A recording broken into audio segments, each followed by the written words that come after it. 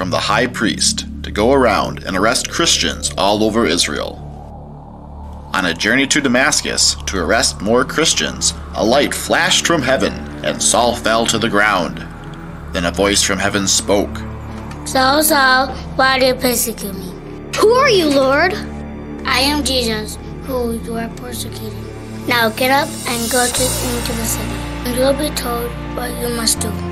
When Saul got up, he was blind, so his friends had to lead him into the city. In the city, God told a disciple named Ananias to go pray for Saul, and when he did, he was able to see again. Saul then went around and started teaching people the good news of Jesus. Saul traveled to Jerusalem to join the disciples, but they heard about the evil that he had done and were afraid of him. Barnabas then brought Saul with him to the apostles. Do not fear this man. Jesus appeared and spoke to him, and after that he preached without fear about the good news of Jesus. Then we welcome you here, Saul. A woman of God named Tabitha was always doing good and helping the poor.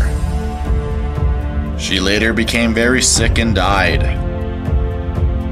Peter heard of this and came to her. When he found her, he prayed and said, Tabitha, get up! Wow! What just happened? I was just in heaven and now I'm back in my room. Oh my goodness, this was a miracle. Many people heard of what happened and became believers in Jesus. A powerful Roman soldier named Cornelius was a godly man. He gave a lot to help the poor. And he prayed to God daily, but he didn't know a lot about God. One day, he had a vision that told him to go find a man named Peter. Cornelius sent men to go find Peter and bring him to his house. When Peter got there, Cornelius told him of his vision. As you know, it is against our law for a Jew to visit with a Gentile, but God has shown me that He doesn't have favorites and accepts people from every nation.